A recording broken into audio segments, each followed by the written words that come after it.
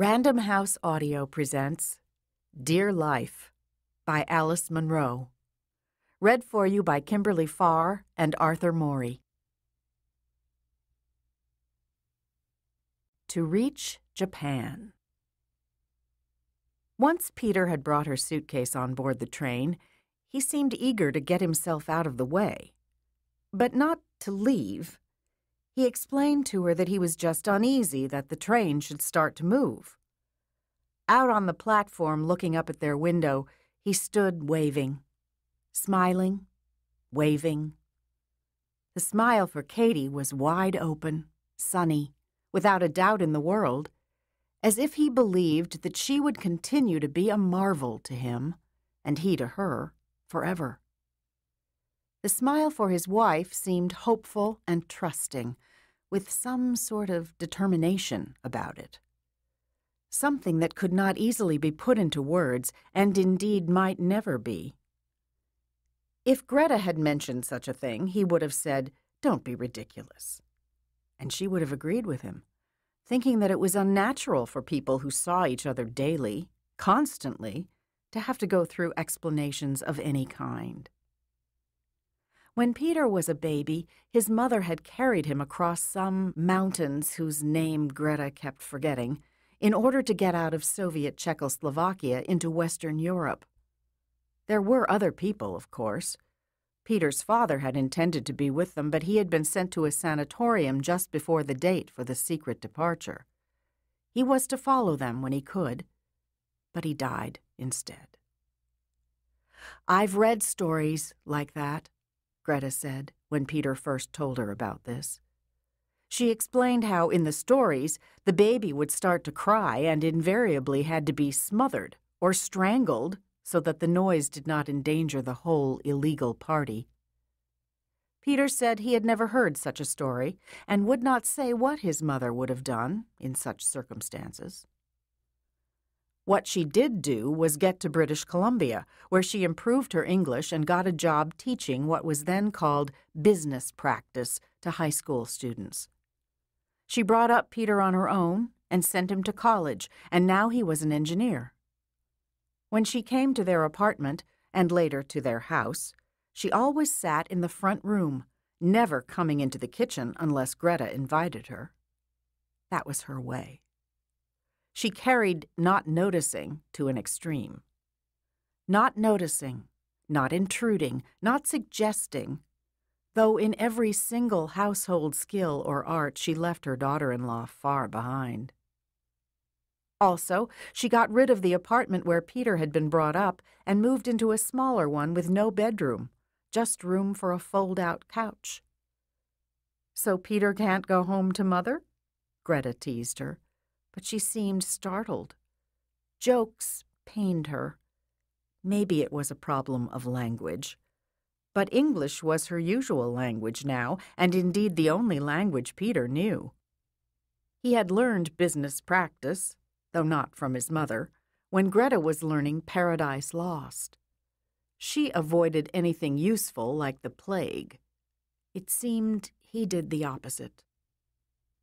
With the glass between them, and Katy never allowing the waving to slow down, they indulged in looks of comic, or indeed insane, goodwill.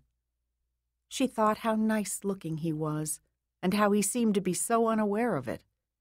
He wore a brush cut, in the style of the time, particularly if you were anything like an engineer. And his light colored skin was never flushed like hers, never blotchy from the sun, but evenly tanned, whatever the season. His opinions were something like his complexion. When they went to see a movie, he never wanted to talk about it afterwards.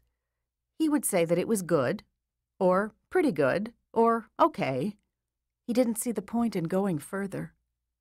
He watched television. He read a book in somewhat the same way. He had patience with such things. The people who put them together were probably doing the best they could. Greta used to argue, rashly asking whether he would say the same thing about a bridge. The people who did it did their best, but their best was not good enough, so it fell down. Instead of arguing, he just laughed. It was not the same thing, he said. No? No. Greta should have realized that this attitude, hands off, tolerant, was a blessing for her because she was a poet, and there were things in her poems that were in no way cheerful or easy to explain. Peter's mother and the people he worked with, those who knew about it, still said poetess. She had trained him not to. Otherwise, no training necessary. The relatives she had left behind in her life and the people she knew now in her role as a housewife and mother did not have to be trained because they knew nothing about this peculiarity.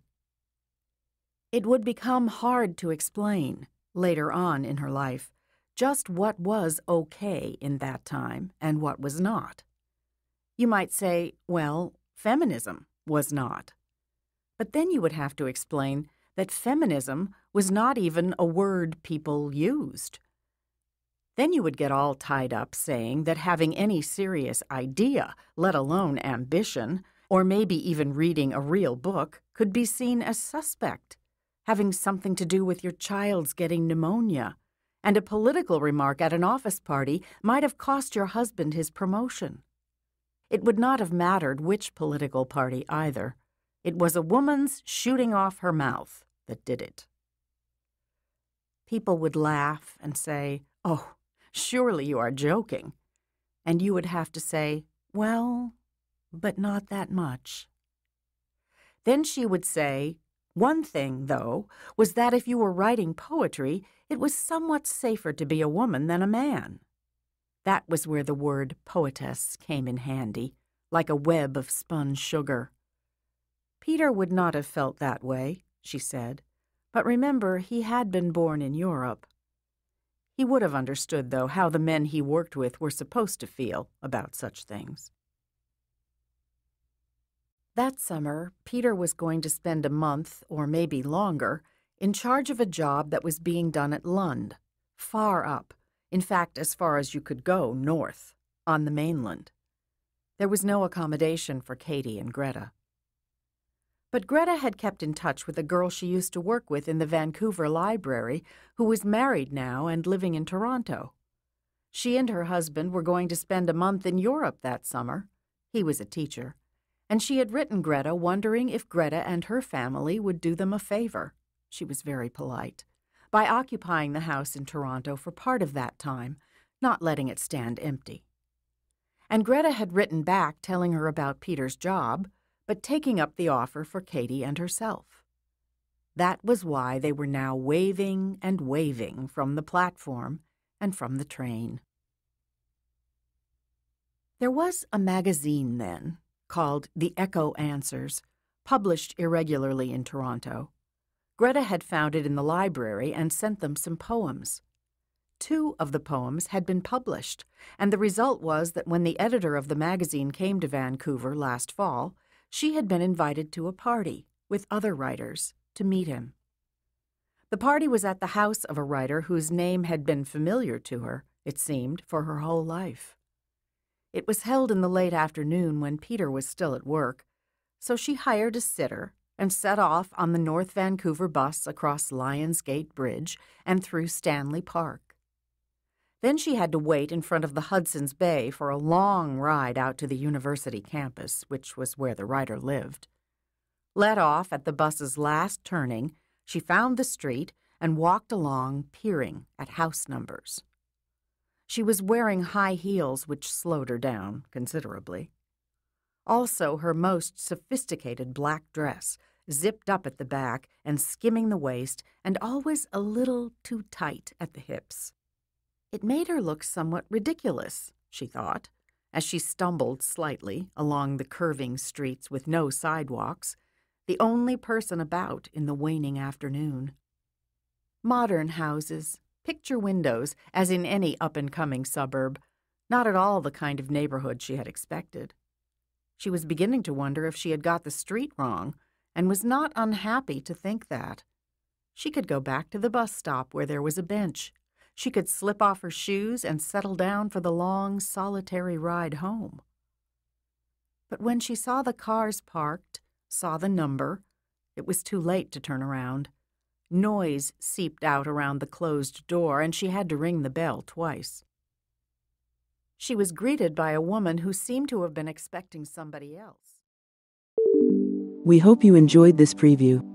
To continue listening to this audiobook on Google Play Books, use the link in the video description.